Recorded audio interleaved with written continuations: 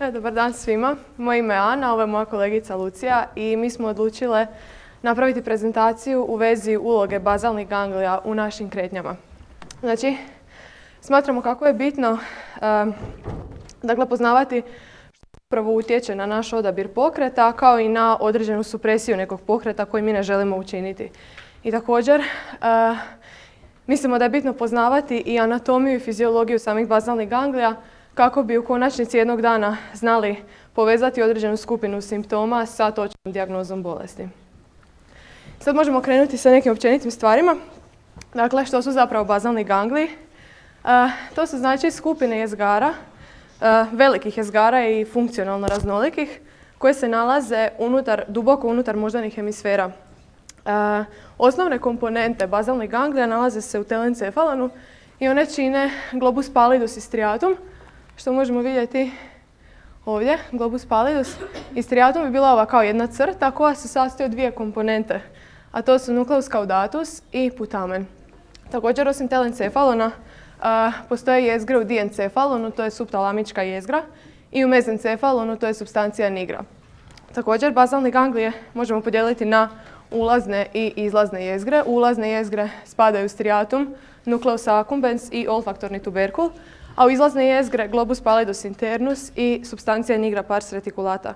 I također još postoje e, neke intermedijarne jezgre koje nemaju određeno obilježje ulaznih i izlaznih, nego nekako variraju između tog ulaznog i izlaznog releja, a to su e, dakle subtalamička jezgra i globus pallidus externus.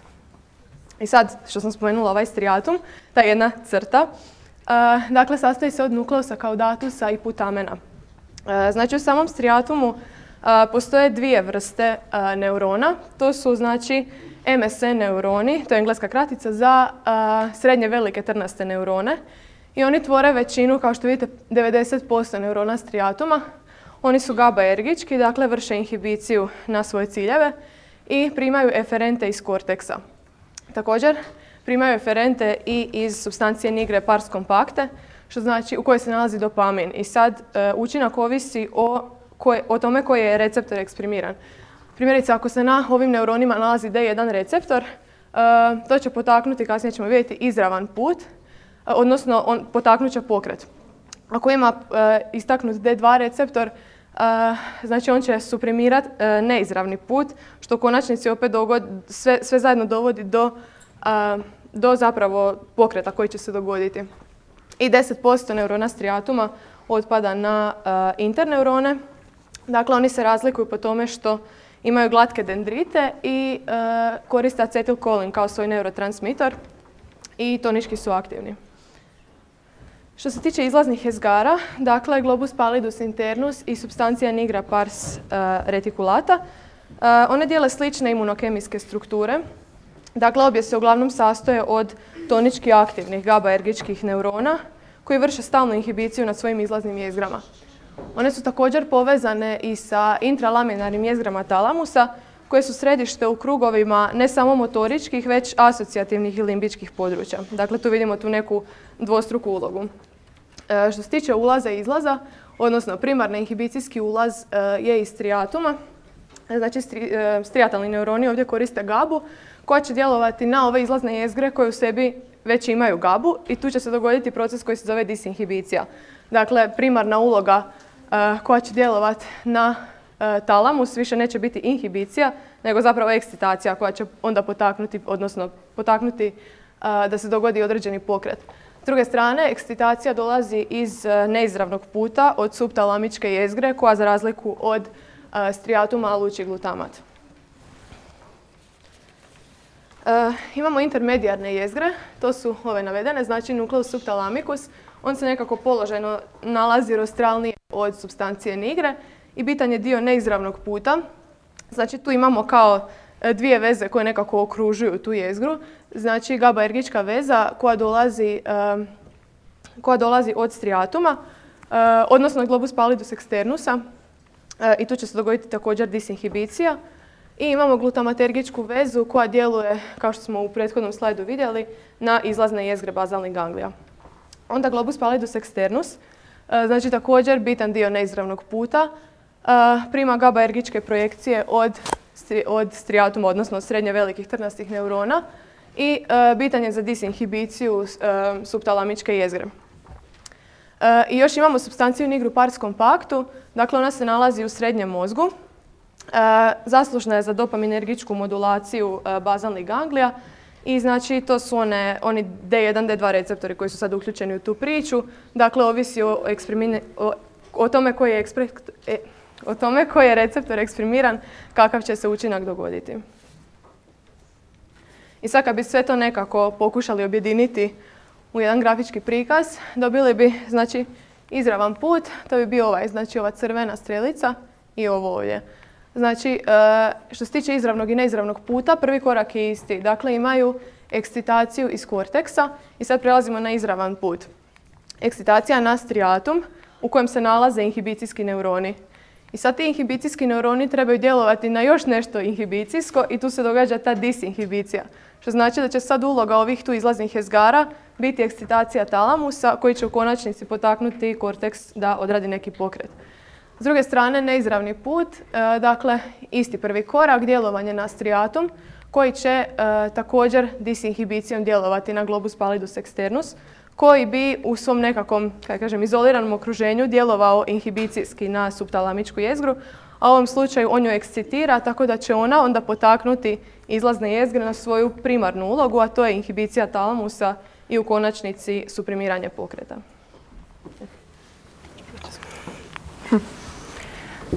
Prema ovom gledištu možemo reći da bazalni gangli djeluju kao nekakva arena u kojem se različiti planovi pokreta natječu kako bi stekli kontrolu nad efektorima. Otkrivanje novih anatomskih veza je dovelo do otkrića, to je natjeralo ovaj klasični model da malo evoluira i došlo je do otkrića izravnog znači kortikalnog ulaza u subtalamičku jezgru koja zaobilazi ovaj strijatom i to se zove hiperdirektni put. On osigurava korteksu zapravo izravnu aktivaciju inhibitornog izlaza bazalnih ganglija kako bi se brzo zaustavilo planiranje neke radnje.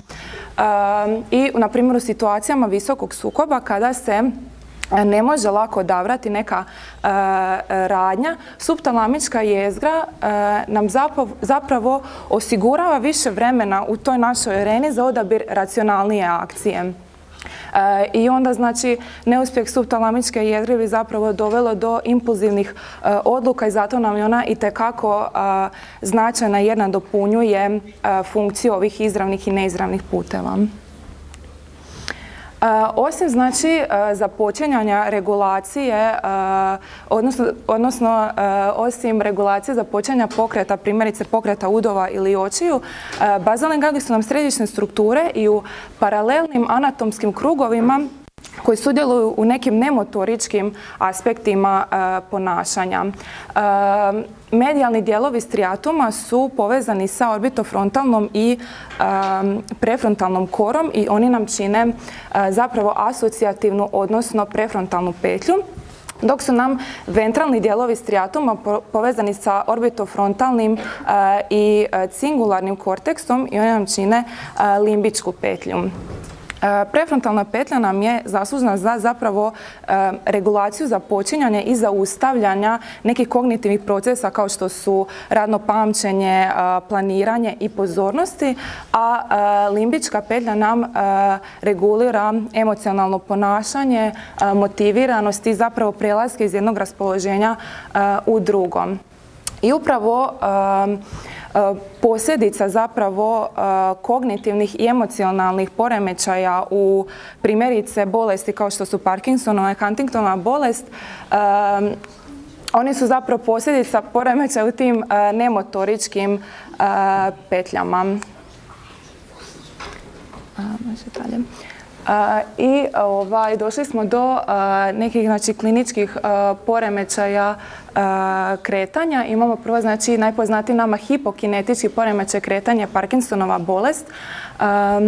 on nam se zapravo njega karakterizira, znači hipokinezija, to nam je, to nam je znači manjak spontanih pokreta, dok je znači bradikinezija usporenost vojnih pokreta, imamo i rigidnost, to je povećan mišićni tonus i imamo tremor u mirovanju. Uzrok Parkinsonove bolesti je manjak znači dopamina u strijatumu što, je uzrok, tome zapravo propadanje neurona u substanci nigre pars compacti. I to dovodi do znači prebacivanje ravnoteže prema neizravnom putu dolazi do prekomjerne aktivacije subtalamičke jezgre koja pretjerano stimula globus pallidus internus i substanciju nigra pars reticulatu i to će u konačnici dovesti zapravo do do smanjene aktivacije kortikalnog neurona koji je povezan sa inicijacijom pokreta. Što se tiče hiperkinetičkih poremeća, znači oni su zapravo suprotnost parksonizmu i tu dolazi zbog prekomjerne aktivnosti izravnog puta i dolazi zapravo do smanjene inhibicije talamokortikalne petlje i do ekspresije neželjenih pokreta. Tu znači imamo Koreju, um, hemibalizam, uh, diskinezije i tikove i ponešto ću reći o svakom poremećaju. Znači Koreja nam je skup spontanih pokreta u kojem znači dijelovi pokreta teku s jednog segmenta, s jednog segmenta tijela na drugi nepravilno i uzrokuju izgled nalik plesu. Atetoza je spori oblik Koreje koje zahvaća distalne ekstremitete, a hemibalizam je proksimalni e, teški oblik Koreje e, koji je zapravo uzrok e, jednostrane lezije subtalamičke jezgre i on je znači najčešće isto jednostrano, odnosno zahvaća jednu stranu tijela. I zapravo najpoznatija, odnosno Huntingtonova bolest je zapravo prototip Koreja, to je neurodegenerativna bolest koja nastaje zbog, um, zbog mutacije u proteinu Huntingtinu i uh, dolazi do degeneracije uh, strijatuma i to se očituje kao um, izražena trofija kaudatusa i putamena i znači pošto on uh, uključuje i već spomenute nemotoričke petlje, to uzrokuje i spektar psi, neuropsihijatrijskih i kognitivnih poremećaja osim onih motoričkih poremećaja. Nadalje imamo levodopom izlazanu diskineziju koja se javlja u bolesnika sa Parkinsonovom bolešću koji su nakon duljeg liječenja levodopom, odnosno to je prekursor dopamina i oni su uglavnom korejične prirode. Distonije su, distonije su zapravo produljeni, odnosno koaktivacija mišića i agonista i antagonista, što dovodi do produljenih mišićnih grčeva, uvijanja i abdomarnih položaja. Imamo tikove koji su zapravo koji su zapravo neritmični, iznenadni pokreti tijela koji se mogu javiti na bilo kojem dijelu tijela i ako uključuje vokalnu muskulaturu dolazi do spomenutog ovog sindroma. Pacijenti s tim sindromom mogu biti nepristojni, izgovarati neprimjerene riječi i izvoditi nagle neprikladne e, zvukove. Isto tako e, upravo se to događa zbog zahvaćenosti onih e, nemotoričkih petlji koje su povezane sa prefrontalnim govornim područjem u korteksu.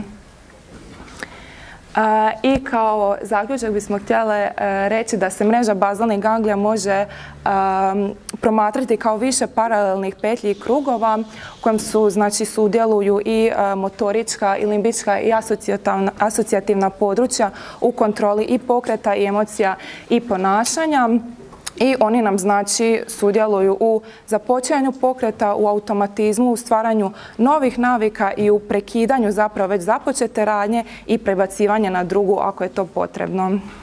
Hvala na pažnji.